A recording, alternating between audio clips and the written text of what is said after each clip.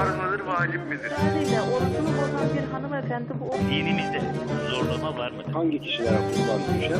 Şafii mezhebine göre evde nikaha gerekiyor muyum? Kadın değil nedir?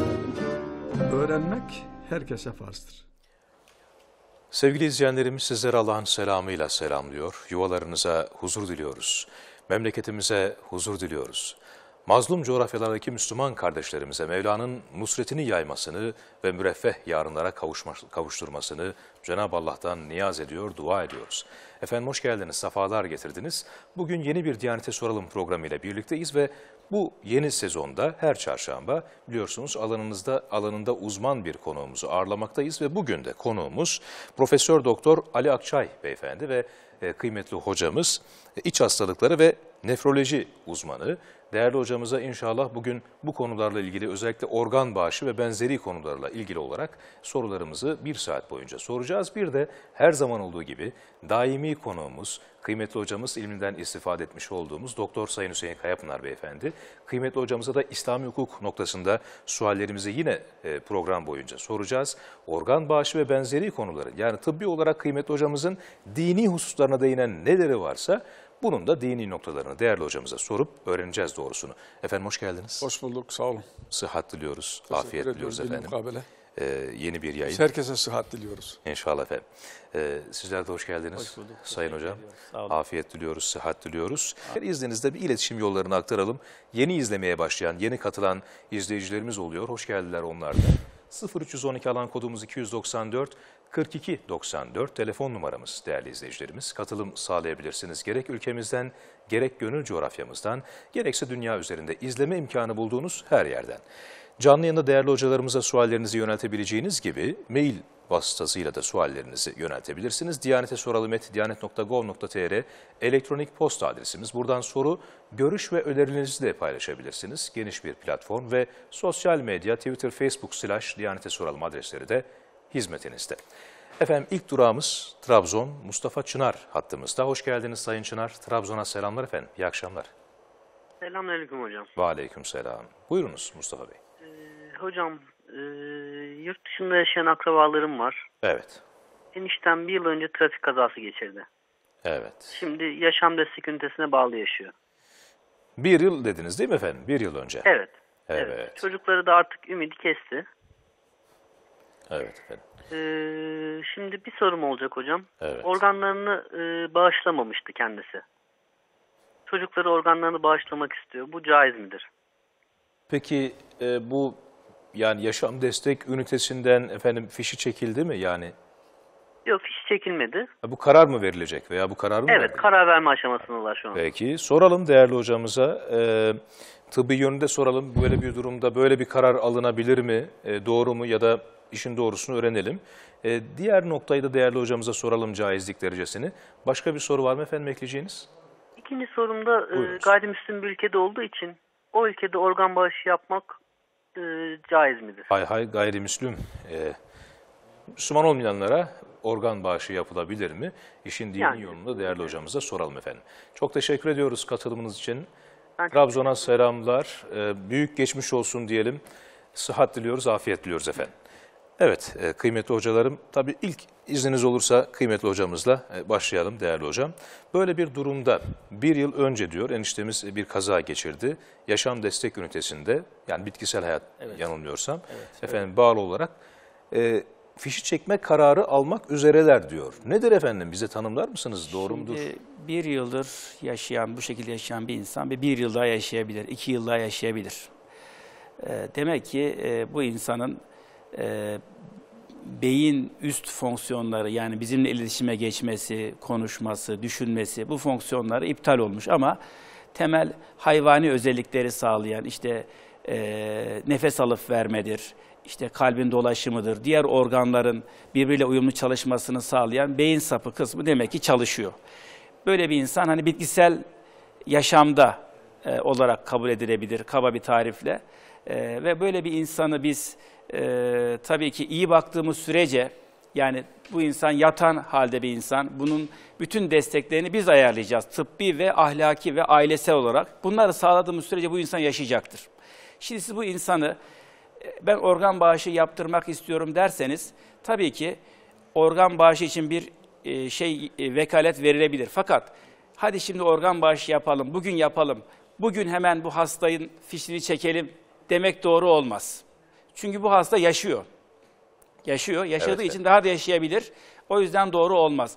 Ama siz bunun iznini önceden verirsiniz, başında durur.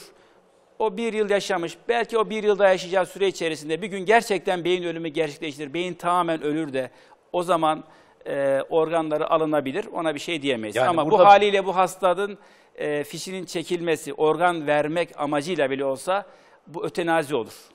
Yani Doğru kişi- değil yani. Değil. Ötenazi Yani bu- dediğimiz bile bile öldürmek. Tabii bile bile öldürmek tabii ki. Bile bile öldürmek. Kendi kendini öldürmez. Tabii. Peki efendim. Yani tam burada izniniz olursa dişin yani işin dini boyutunu tam o karar alma safhasında böyle bir kararı yani kişi kendisi ve daha doğrusu vefat eden demeyelim hasta olan kişi e, böyle bir bağışta bulunmamış efendim. E, biz yakınları olarak bulunabilir miyiz diyorlar ve değerli hocamızın da değerlendirmesini de burada es geçmeyelim ötenazi olur diyor. Buyurunuz değerli hocam. Bismillahirrahmanirrahim. Tabii bu kişinin ölüp ölmediği konusunda karar tabiplere aittir. Yani bizim diyeceğimiz, dediğimiz şey ölmeden o kimsenin öldürülmesi ve organın alınması caiz değildir. Evet efendim. Ama tabii bu konular yani organ nakli konusu bizim e, klasik eserlerimizde yer alan bir konu değil. Ne Kur'an'da böyle bir şey var, ne sünnette var, ne de daha sonraki gelen müştehit imamlar döneminde var. Çünkü bu, bu asrımızın ortaya çıkan yeni bir problemi. Dolayısıyla bunlar günümüz İslam alimleri tarafından değerlendirilip sonuçlandırılacak konular. Ama genel ilkeler var. Bir defa şunu söyleyelim. İnsanın canı kendi malı değildir. Yani bu vücut benim malım değildir. Eğer benim malım olsaydı ben bu vücutta kendi dilediğim gibi tasarruf edebilmem gerekir idi. Ama yapamıyorum. İntihar edemiyorum.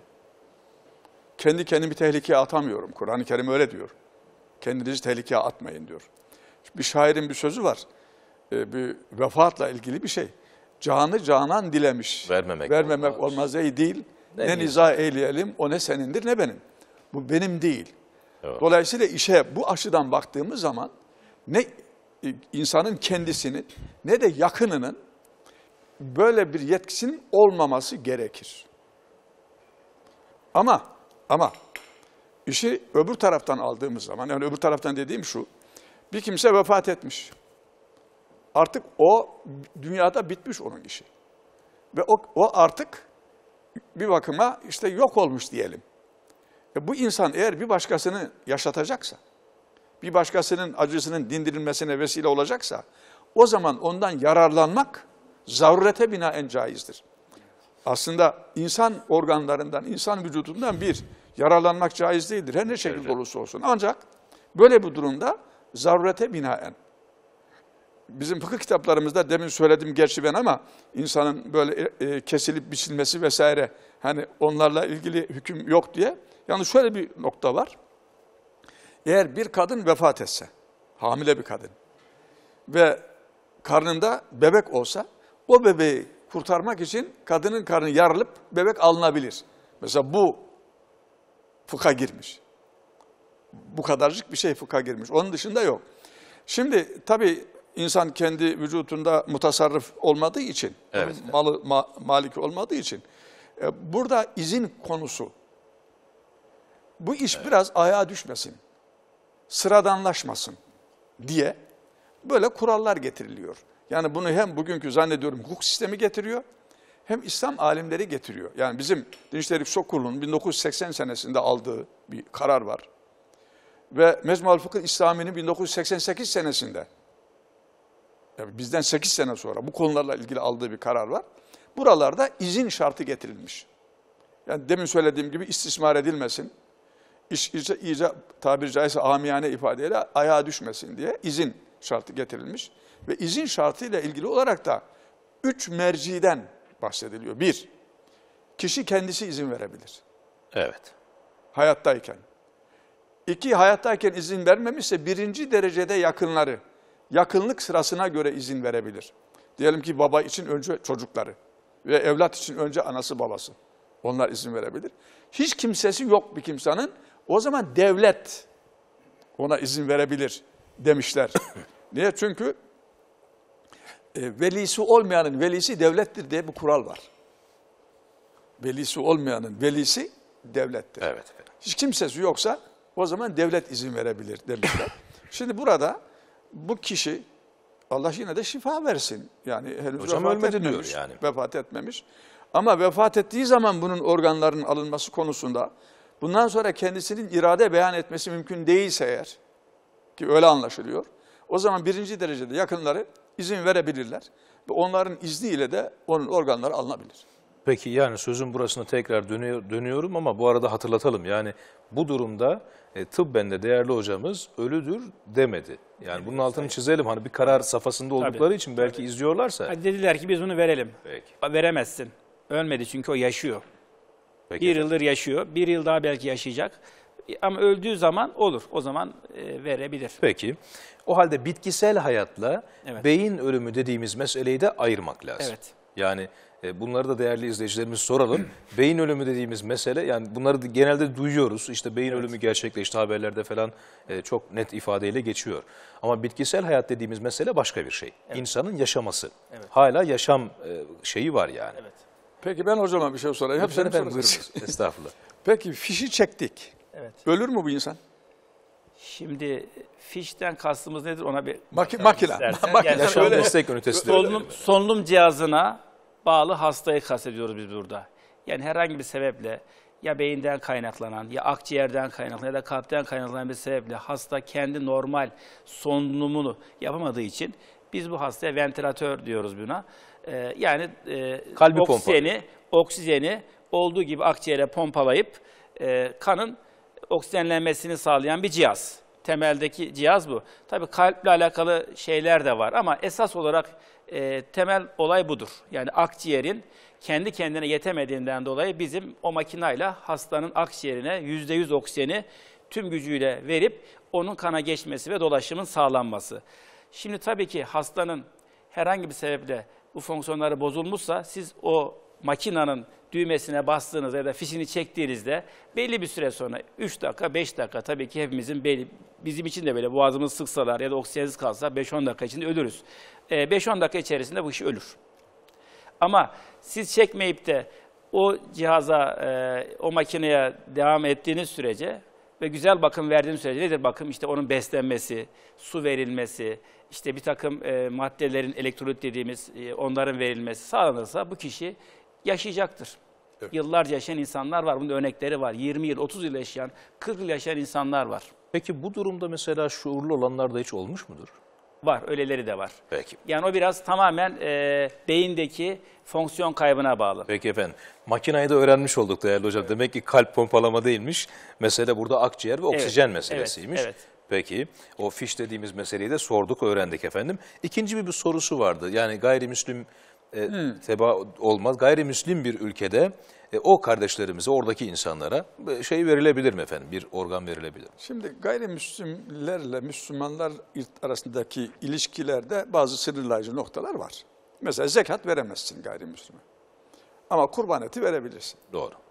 He, ona e, diyelim ki bu işte, onu kendinize sırdaş edinmeyin diyor ayet-i kerime. Evet efendim. Sırdaş. Sırdaş edinemezsin filan. Ama bu tedavi konusunda fark etmemesi gerekir. Şu açıdan fark etmemesi gerekir. İnsanın e, müsbet veya menfi davranışını etkileyen şey beynidir. İradesidir. Onun organları bir alettir. Bir araçtır. Yani beyin e, emir vermedikçe göz bir şey yapmaz. Veya beyin emir vermedikçe el bir şey yapmaz. Evet. Dolayısıyla bu gayrimüslimin diyelim ki bu organ nakli kendisine yapıldıktan sonra diyelim bir Müslümandan el nakledilmişse, göz nakledilmişse o kimsenin o şey e, elinin gözünün uzmanı, işlediği günah o eli gözü veren kişiye ait olmaz. E, dolayısıyla onun yaşantısı bu açıdan etkili değildir. Ancak şu olabilir. Eğer kişi İslam Müslümanlara e, zarar veren, Müslümanlarla savaşan, İslam'la savaşan birisi ise onun hayatiyetini sürdürmesine yardımcı olmamalıdır Müslüman. Olamaz. Veya eğer şöyle bir niyet ki onu hiçbir Müslüman beslemez zaten. Yani ben bu gayrimüslime vereyim de o da efendim küfrüne devam etsin. Böyle bir niyetle zaten vermez. Verirse o da caiz olmaz. Ama sıradan kendi halinde bir insan ama gayrimüslim. Ona vermiş organlı bunda bir sakınca olacağını ben düşünmüyorum. Şimdi değerli hocalarım e, devam ediyoruz. Tabii gelen birçok soru var aslında. E, meseleye değerli izleyicilerimiz biraz daha organ bağışı meselesiyle baktığımızda birçok şey giriyor. Bu işin efendim e, ticari artık yönüne dökülmüş yönleri de var. Bunlarla ilgili olarak muhte, muhtemelen hem dini hem de tıbbi olarak belki yasal boyutları da olacaktır bu işin. Ama dini boyutu herhalde biraz daha nasıl yapıları engelleyecektir veya yolunu açacaktır bilemiyoruz, öğreneceğiz. Şimdi bir soru var değerli hocam. Diyor ki izleyicimiz organ bağışı yapmak için gereken şartlar nelerdir demiş. E, dinen ve tıbben sormuşlar. Değerli hocalarımıza soruyoruz demiş ama öncesinde e, değerli izleyicilerimiz ve hocalarımdan istirham ediyorum. Organ bağışı yapmak caiz mi? Yani buradan başlayalım. Hani en baştan belki direkt bir soruyla girdik ama bağış noktasında dinen bu caiz mi efendim?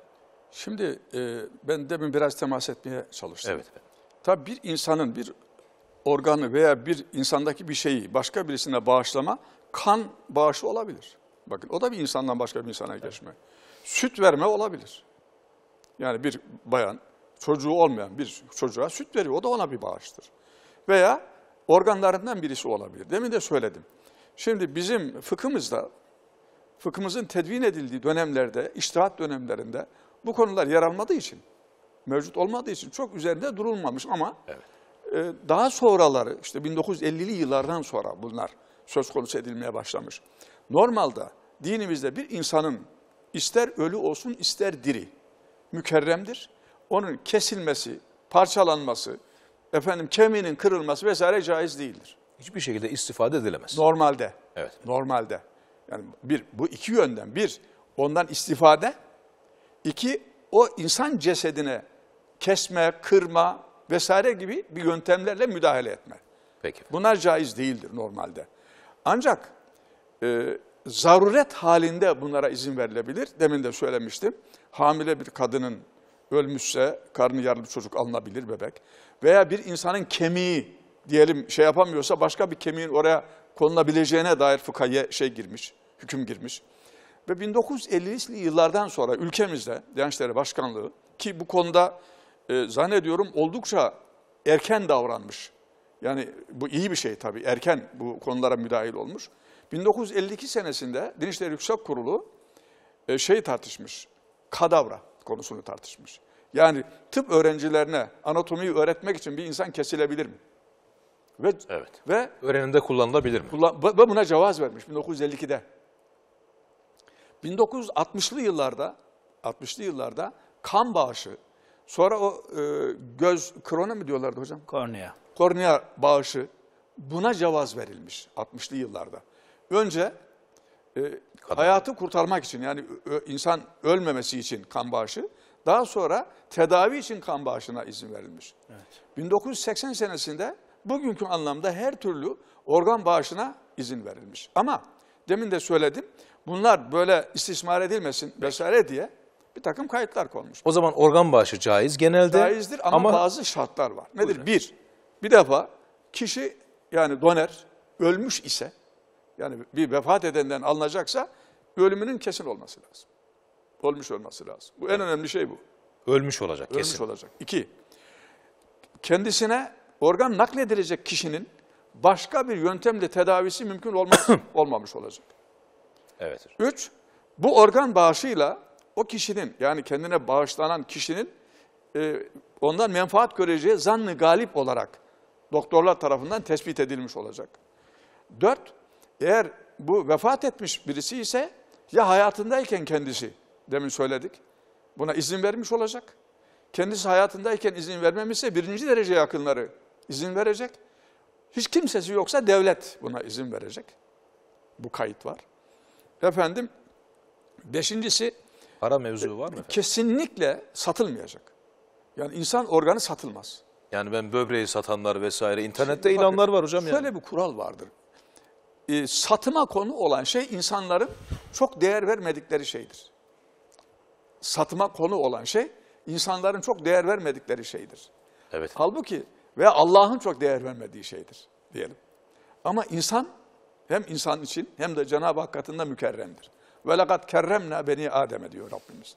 Bir insanoğlu mükerrem kıldık. Onun için öyle para pula değişilmez. Peki. O halde para mevzu en önemli mevzu. En önemlisi ölmüş olacak eğer ölüden alacaksak ve satılmayacak. Bugün mesela e, böbrek mafyası bilmem ne organ mafyası Daha duyuyoruz. konuşacağız hocam onlara şimdi girmeyelim. Duyuyoruz yani bunlar ne hep Peki. işte para. Peki. Bir de şu önemli bence ki bu kararlarda pek ben ona rastlamadım. Yani gerek bizim kurulumuzun gerek diğer kurulların aldıkları bu konudaki kararlarda pek rastlamadım. Bu bağış alınırken veya kadavra ile ilgili olarak işte insan vücudu şey yapılırken onun gereksiz yere paramparça edilmemesi. Şimdi müsle diye bir şey var, yasaklanmış müsle. Müsle nedir? İnsan canlısına ve, ve ölüsüne eziyet etmedir. Savaştan sonra Şimdi yapmışlar bu mesela. tip şeyler, bu tip şeyler yani organ nakli olsun, işte kadavra olsun vesaire zarurete binaen caiz kabul edildiği için e, bu kendi zaruret miktarınca takdir edilmelidir. Yani ne kadar kesilmeye diyelim, ne kadar o vücut parçalanmaya ihtiyaç duyuluyorsa o kadar yapılmalı, daha ileri gidilmemeli. Peki efendim.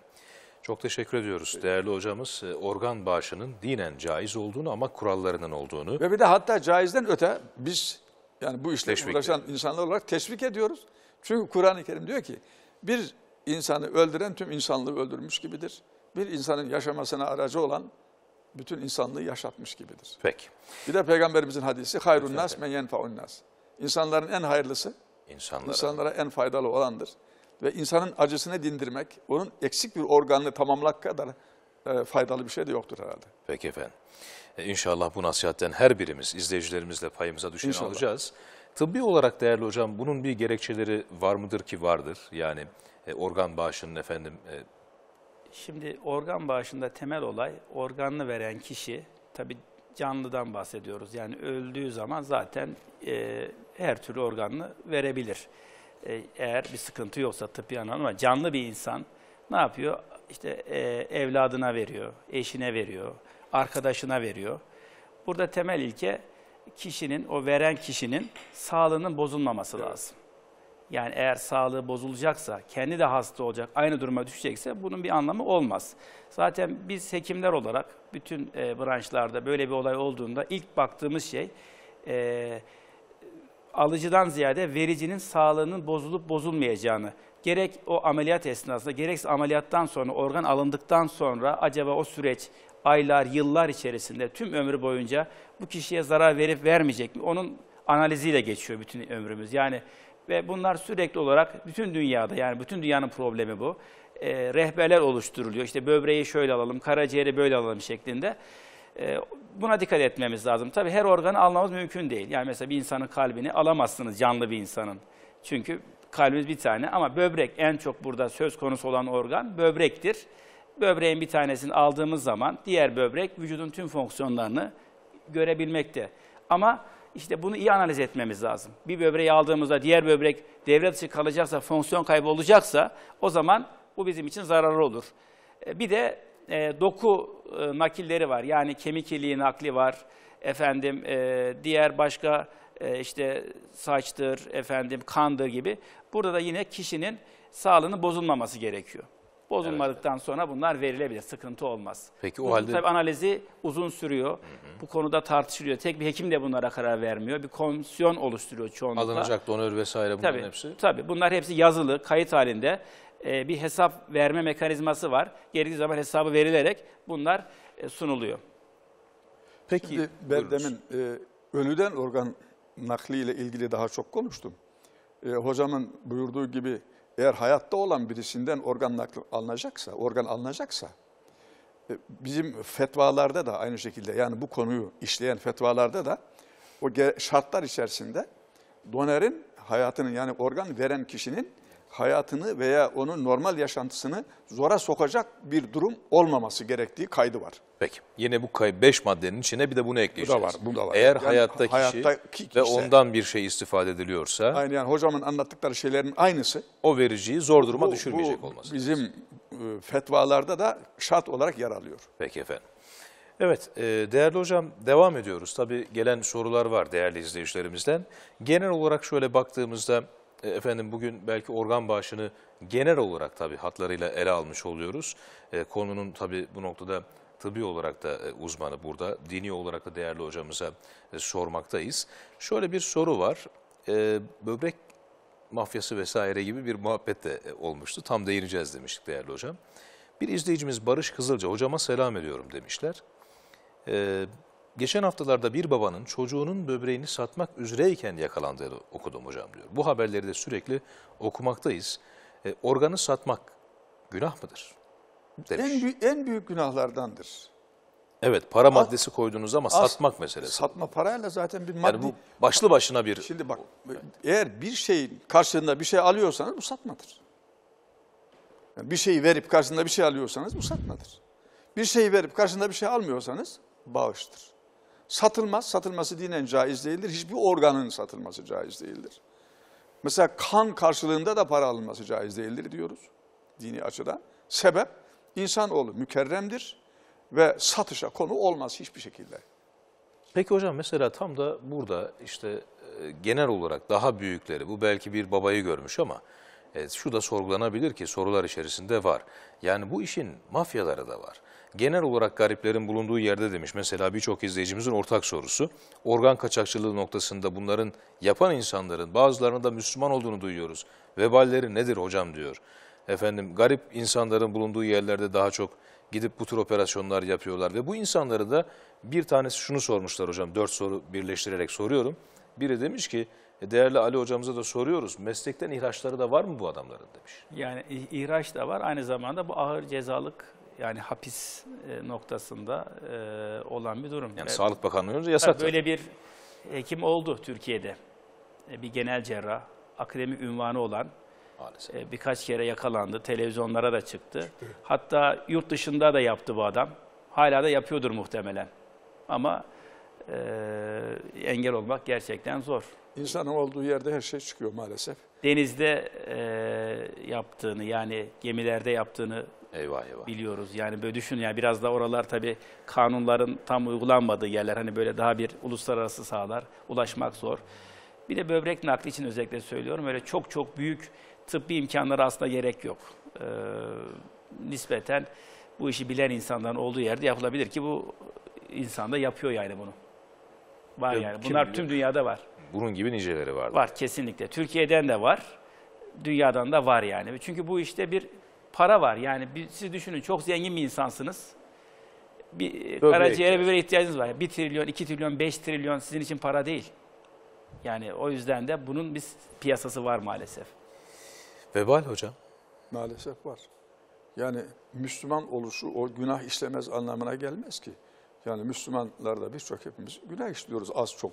Evet. hocam. Yani dolayısıyla ama bu insan hayatıyla ilgili bir şey olduğu için fevkalade önemli. Diğer günahlara da pek fazla kıyaslanamayacak kadar önemli bir şey.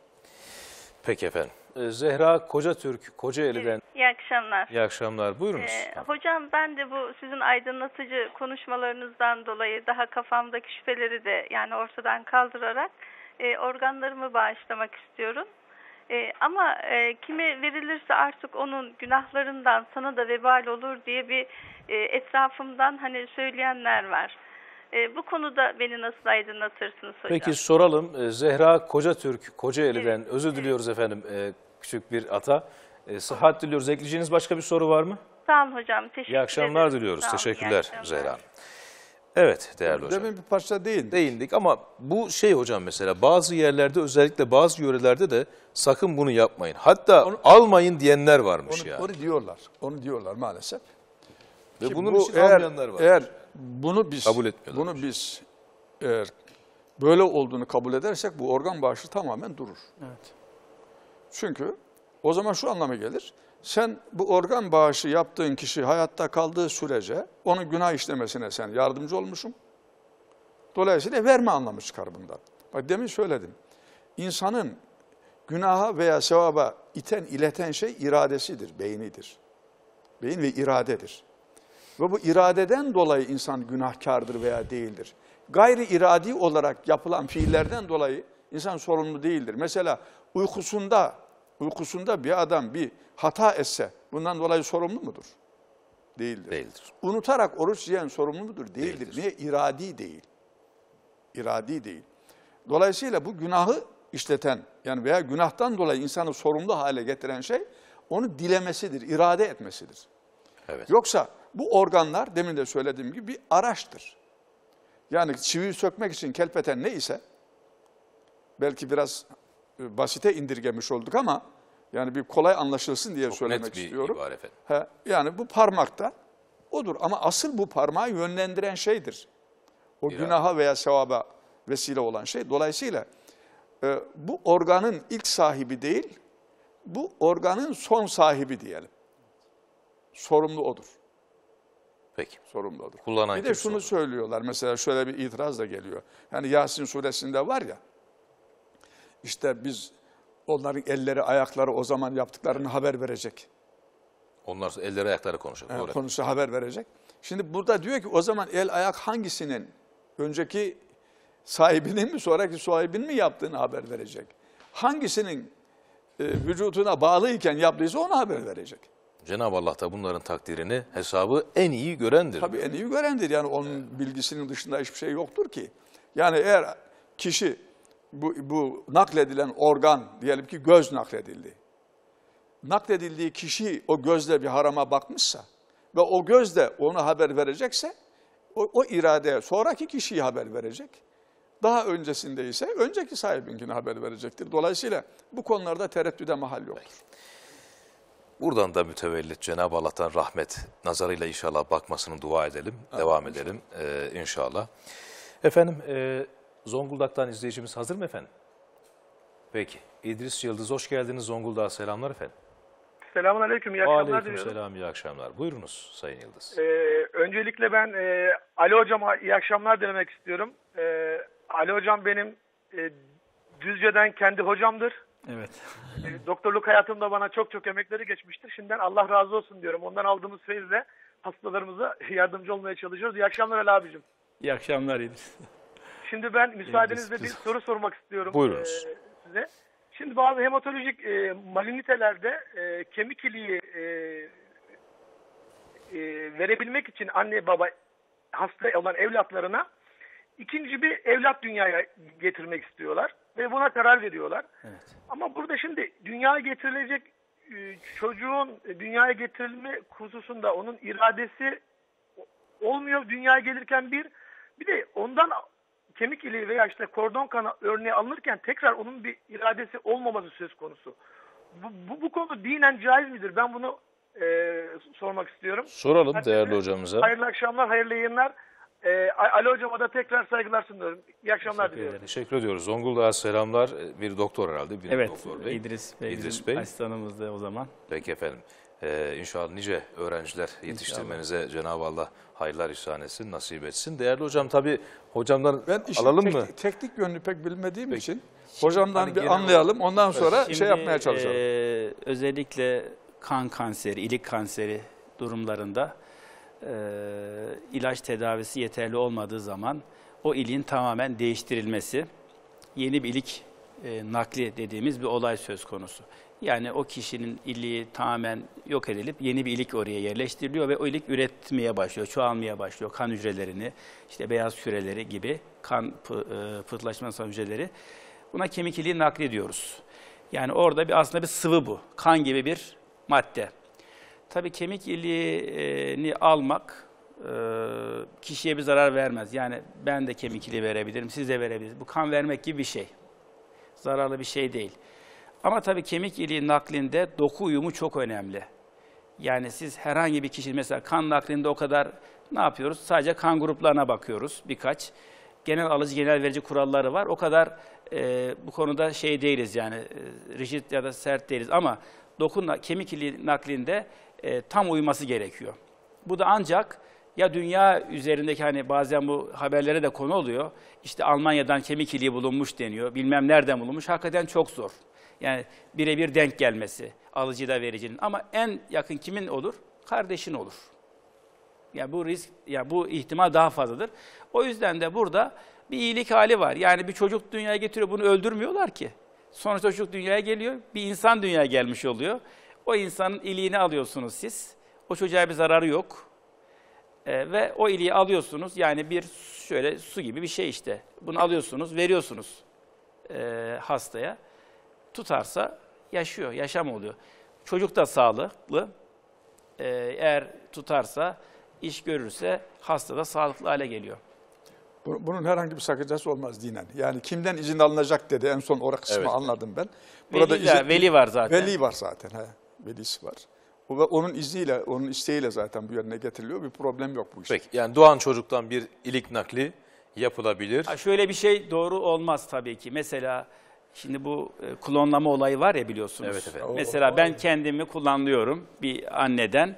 Benim aynı dokuma sahip bir çocuk doğuyor. Aslında bu bir canlı. Yani birini ne olursa daha olsun. yapmak İlla istiyor. sperm hani affeder sperm olması şart değil. Bu artık başarılabiliyor. Yani bir e, başka bir hücreden de yani bir ciltten, bir karaciğer hücresinden, bir kemik hücresinden alınan DNA parçacıklarıyla da bir canlı bugün dünyaya geliyor. İşte koyunlar var biliyorsunuz. İnsan da Evet. olabilir bu. Yani yasak falan deniyor ama bunlar hepsi çalışılıyor, var. Şimdi bu durumda ben zengin bir insanım. İşte ne yapıyorum? Karaciğere ihtiyacım var. O zaman ne yapıyorum? Kendi dokumdan bir işte bebek dünyaya geliyor. Ee, belli anne karnında.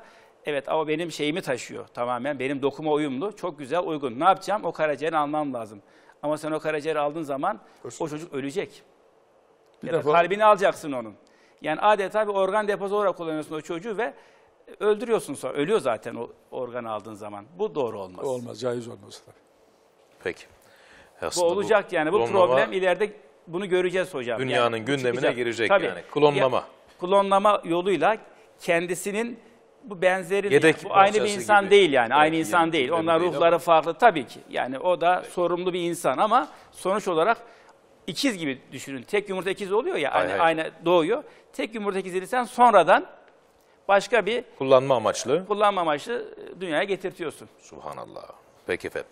Dünyanın gündemine girecek değerli hocalarım da muhtemelen çalışacak. O, o zaman yeniden yeniden değerlendirilecek. Evet konular güncel yani bu konuların mümkün değil e, Tabii, son noktayı koymak. Efendim Avusturya'dan bir katılımcımız var. İzniniz olursa Tabii. e, dönelim. Dönelim. Hacı Tozak hoş geldiniz efendim. Avusturya'daki Müslüman kardeşlerimizi selamlıyoruz sizin nezdinizde. Buyurunuz. Sağ olun Allah razı olsun. Hayırlı akşamlar. dilerim. Sizlerden de efendim. İyi akşamlar. Buyurunuz hacı. Hocam bir, iki sorum var. Buyurunuz efendim. Birincisi bu organ bağışı. Mesela bazen duyuyoruz.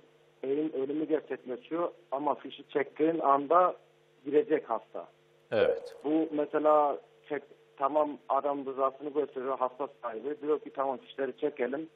Bir de ne kadar caizdir, ne kadar caiz değildir. İkincisi organ bağışı yaptığımız kişi. Evet. Mesela organ demin hocamız söyledi yani bir insana can vermek yani Peygamber Efendimiz hadisine dayanaraktan hocamız söyledi. Çok iyi bir şey diyor yani. Bu organ bağışı yaptığımız bir insan yani organın ne tür kullanacak yani iyi yönde mi kullanacak, kötü yönde mi kullanacak ondan dinen ne kadar caizdir yani. Evet. Ee, soralım değerli hocalarımıza. Az önce bu konuya değindik. Ee, kıymetli hocamızdan yine bir Ben efendim işten geldiğim için pek duyamadım. Onu baş tacısınız efendim. Ee, değerli hocalarımıza tekrar inşallah soracağız. Ekleyeceğiniz başka bir sual var mı? sağ ol Allah razı olsun. Sıhhat diliyoruz. Avusturya'daki kardeşlerimize selamlar. Muhtemeldir efendim e, yayınlar noktasında belki ulaşım noktasında da e, geç iletiliyor olabilir. Bir kez daha alalım. Evet. Aslında her ikisini birden alalım değerli hocam. Yani beyin ölümü noktasında beyin ölümünü nasıl tanımlıyordunuz değerli hocam? Beyin ölümü, beynin fiş tüm fonksiyonlarının, tüm fonksiyonlarının eee, hücrelerin ölümü. Oradaki hücrenin ölmesi, kanlanmanın bitmesi. Yani hem entelektüel fonksiyonlar dediğimiz bu düşünme, konuşma, yazma, etme, görme hem de e, vücudumuzun tüm organlarının birbiriyle uyumlu çalışmasını sağlayan beyin sapı dediğimiz yani bu kalbin çalışması, akciğerin çalışması, bütün bu organların bile uyumunu sağlayan e, merkez var. Yani bu sinirlerin çıkıp dağıldığı merkez. Bu iki merkezin birden tamamen e, çökmesi, beslenememesi, elektriksel aktivitenin bitmesi buna beyin ölümü diyoruz. Enerjisi. Beyin ölümü olduğu zaman o insanlar ölürler. Çünkü solunum yok, kalp yok, yani kalp atmıyor, e, soluk alıp verme yok. 5-10 dakikada ölürler. Fakat siz böyle bir insanı organ nakli yapalım diye, organ nakli yapalım. Biliyorsunuz bu insan ölmüş. Evet efendim. Beyin ölümü kesinleşmiş. Siz normalde bu insan ne yapacaksınız? 5-10 dakika bekleyeceksiniz. Kalbinin atmadığını, soluk alıp vermenin olmadığını göreceksiniz. Sonra da morga kaldıracaksınız. Ama biz ne yapıyoruz? Bir fayda e, düşünerek bu insan genç bir insan ya da e, organları sağlam bir insan, e, başka bir insana yardımcı olabilir miyiz diye beyin ölümü olmuş bir insanın biraz destek veriyoruz ona. Ne yapıyoruz? İşte solunum cihazına bağlıyoruz bu fişi çekme olayı değil. Bu zaten ölmüş bir kişiye siz biz bir süre e, organlarına dışarıdan bir destek veriyorsunuz. Kalbine veriyorsunuz, akciğere veriyorsunuz. Bu ne kadar sürüyor? Bu çok uzun sürmüyor. Bunlar genellikle 5-6 saat, 1-2 gün. Yani literatürde yani böyle bir hafta, iki hafta yaşatılanlar da var. Çok çok böyle özel bakımlarla. Yani beyni ölmüş ama mesela bir anne var, hamile. O çocuk biraz daha içeride yaşasın diye e, çok üstün bakımlarla bir şeyler yap, başarabilmiş ama çoğu bu kadar da sürmüyor. Birkaç saat içerisinde ya da birkaç gün içerisinde ölüyorlar bunlar. Siz dışarıdan destek de verseniz. Peki efendim. Bu beyin ölümü. Bitkisel hayat ise çok daha farklı. Burada beynin e, kalbi, işte akciğeri ve iç organlar uyumunu sağlayan merkezi aktif çalışıyor. Evet. Ama sadece beynin üst kısmı dediğimiz yani bizim bu düşünmeyle alakalı, efendim hayal kurmayla alakalı, konuşmayla alakalı, entelektüel fonksiyonla alakalı kısım e, çalışmıyor. E, ya ölmüş olabilir ya da hastalanmış olabilir. Bu insan ne, halde oluyor? Yatağa bağımlı. Yani komada diyoruz mesela bunların çoğuna. Komada halinde diyoruz. Bilinçsiz. Bilinç yok. Peki. O zaman bu insanı siz ne yapıyorsunuz? Beslediğiniz zaman bu insana yaşlı bir insan gibi su verirsen içecek. Yemek verirsen yiyebilecek. Yani siz onu uygun bir şekilde verdiğiniz zaman soluk alıp vermek için yardımcı olacaksınız. Bunları yaptığınız zaman bu yıllarca yaşayabilir. Siz bu insanın fişini çekemezsiniz. Bitkisel Şeker- hayat ölüm değildir. Değildir. Peki efendim. Bu insanın yaşama ihtimali var. Bugün mesela biz bir hastalığı tedavi edemiyoruz ama 5 yıl sonra hastalığı tedavi ediyoruz. Belki de o insan 5 yıl sonra tedavi olabilecek. Bilemiyoruz bunu. Peki. O yüzden de oradan karar veremeyiz. Bu biraz bencillik oluyor. Tabii kolay bir iş değil evde o hastaya bakmak. Ee, işte bunu biz bağışlayalım organlarını, fişini de çekelim. Böylece bu dertten kurtulalım gibi noktaya da gelinmemesi gerekiyor. Bunun adı Ötenazi ya da cinayet olur aslında Peki. bakarsan. Cinayet olur doğrusu bu Efendim, cinayettir. e, Tıbbi terimleri böyle çok da şey yapmamak Peki lazım. Aslında efendim. bir cinayet. hay hay. Ee, kısmi olarak değerli değerli hocam yani beyefendi Bizim- sordu. Bizim yani dini açıdan e, şeyimiz şu, Bir kriterimiz şu. Bu kişinin gerçekten ölüp ölmediği. Öldüyse o organlar alınabilir. Değilse alınamaz. Ve ölüp ölmediğine de tabipler karar verir. Peki. Bizim şey bu. İkincisi, bir demin açıklamıştık ama anlaş, anlayamamış. İnsanın yaptığı fiillerden dolayı sorumlu olmasının asıl sebebi onun iradesidir. Bak ne diyoruz biz? Kul kasip, Allah haliktir diyoruz. Şüphesiz. Yani kul kazanıyor onu, Allah yaratıyor. Yani kader, kader var. Kadere rağmen neye sorumlu insan? Diyoruz ki Cenab-ı Hak bize bir irade vermiş. Ve o irademizi dilediğimiz istikamette kullanabilme Tasarruf. yetkisi de vermiş. Biz irademizi kötüye yöneltirsek Allah yaratır. Bak, Yaratır Allah. Ondan dolayı biz günahkar iş, iş günah işlemiş oluruz. İyiye yöneltirsek yine Allah yaratır ve bundan dolayı da sevap kazanırız. Şimdi insanın organları kendi başına iş yapan şeyler değildir. Yani benim beynim komut vermese, iradem izin vermese ben elimi buradan kaldırmam, kaldıramam. Dolayısıyla bu kendisine organ verilen kişinin yaptığı fiillerden dolayı organ veren kişinin herhangi bir sorumluluğu olmaz. Peki. Değerli hocam Adana'dan bir izleyicimiz. Hattımızdalar. Hoş geldiniz Adana'ya selamlar. İyi akşamlar efendim. İyi akşamlar. E, hocalarıma saygı ve selamlarımı sunuyoruz. Dil mukabele efendim. Buyurunuz. E, hocamıza bir sorumuz olacaktı. Özellikle şimdi sizi anladığımız için. Buyurunuz estağfurullah. E, sorumuz şu efendim. Benim bir e, kızım tesadüfen e, muayenetteyken böbreğin doğuşu olmadığını e, şey, şey yaptık. E, öğrendik. Böbrekli çıktı. E, buna pek o kadar... Doğuştan böbreği yok. Doğru mu efendim? E, evet doğru. Peki. Buna o kadar önemsemedik ama ikinci bir hususta aradan bir ay geçmesine rağmen tekrar rahillerde bu sefer rahmin olmadığını öğrendik. Rahim, Bu peki. yirmi- 20-21 yaşında oldu. E, bu e, bizi de yine, e, yine çok şükür sağlıklı diye şey yaptık ama kızın psikolojisini bozdu. E, şu anda rahim naklinden bahsediliyor. Bu yasal e, buradaki doktorlarımız, hocalarımız yasal olmadığını e, dinine pek e, uygun görme, görmedi hocalar, buradaki sordu hocalarımız. Peki. E, tekrar hocamıza soruyoruz. Bu Soralım. Ya, rahim e, nakli yaptırmak yani ileride sağlık etkiler mi veya psikolojisini düzeltir mi? Sor- Hay hay efendim soralım değerli hocamıza. Çok teşekkür ediyoruz. Hayırlı Kardeşimize şifa diliyoruz. Adana'ya selamlar. E, değerli hocam hemen dini boyutunu soralım. Rahim nakli ile ilgili olarak e, hatta mesela bu soruyla genelde şeyi soruyorlar efendim bize. Genel sorular 4 sene içerisinde program bazlı baktığımızda annenin kızına rahmi nakli vesaire gibi. Bunlar caiz midir dinen? Şimdi bu konuda bizim söyleyeceğimiz şey şu. Bu kişiden yani kendisine nakledilen kişiden diyelim rahim nakli yapıldı. O- O kendisine rahim nakli yapılan kişi de bir çocuk dünyaya getirdi. Bu dünyaya getirdiği çocuk o rahmin önceki sahibinin genlerini taşıyor mu? Onun özelliklerini tümüyle ona aktarıyor mu? Değil mi? Ha, buna bakarız biz. Peki. Mesela şimdi yumurtalık. Hocam özür diliyorum son bir dakikamız Ha. izninizle. Yu- mesela yumurtalık nakli değil mi? Evet. E bu ne yapıyor? O ilk yumurta sahibinin şeyini Genlerini genlerini taşıyor. Buna caiz demiyoruz. Eğer rahimdeki ona karar verici olan hocamızdır. Peki.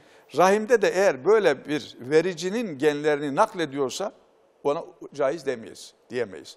Ama yok öyle değilse bir kalpten, bir e, karaciğerden, bir Farkı böbrekten yok. farkı olmaması Hemen öğrenelim gerekir. efendim.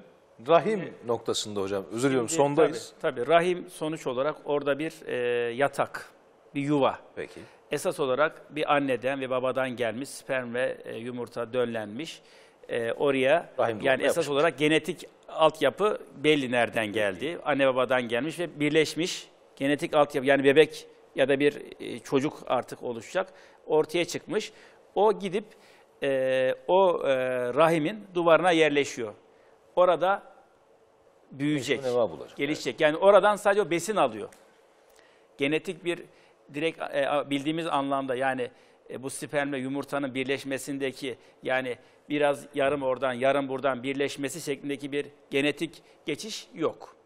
E, o yüzden de e, biz bunu böyle bir e, şey gibi algılayamayız. Yani bir sperm nakli ya da yumurta nakli gibi tamamen olduğu gibi genetik Te- te- bir testis nakli Değil. Değil. Tabii öyle bir şey değil. Hayır. Evet. Buradaki tamamen bir e, orası bir e, adeta yatak, bir besleyici bir ortam. Bebeğin orada beslenmesi. Tabii bunlar e, çok da kolay şeyler değil yani. Evet. Bunları biz anlatıyoruz ama Hay hay teorik olarak pratikte bu kadar da kolay gerçekleştirmiyor ama tabii ki olabilir yani. Bu bir, bir süre sonra yapılacak Peki şu yani mesela olabilir. şu an Türkiye'de var mı efendim rahim nakli yasa? Yapıldı ama, Dedi yapıldı tabii. Peki. Rahim nakli yapıldı ama çok başarılı olmadı tabii. Peki. Dünyada örnekleri var ama yani. Peki. Yapılıyor yani. Rahim nakli de yapılabiliyor. Ee, o halde son bir cümle rica ediyoruz. Yani yumurta ve benzeri yumurta e, nakilleri caiz değil. Çünkü Tabii. onlar genetik Yumurta- geçiş- Sağlık. Yumurta, yumurtalık düzeltiyorum. tabii testis, tabii. Peki. Bunları caiz değil efendim. Bunlar genetik geçiriyor. Özellikleri geçiyor diye. Evet. Ama rahim noktasında da eğer genetik özellikleri geçmiyorsa Evet. bir sakınca olmaması gerekir diyor. ama geçiyorsa o da caiz o- o- değil. tabii. Peki yani değerli izleyicimiz de böyle bir durumda şifa diliyoruz. Ee, ama durum bu. Efendim çok teşekkür ediyoruz katılımlarınız için. Ee, kıymetli hocam Doktor Sayın Hüseyin Kayapınar Beyefendiye, siz değerli izleyicilerimiz adına ve yine değerli hocamız Profesör Doktor Sayın Ali Akçay Beyefendiye katılımlarından ötürü ilminizden istifade ettik. Allah razı olsun Amin, sizden de. değerli hocalarım. Sağ olun. Sevgili izleyenlerimiz bir başka programda birlikte olmayı ümit ediyor. Yuvalarınıza huzur diliyor. Sizlere Allah'a ısmarlıyoruz efendim. Hoşçakalın.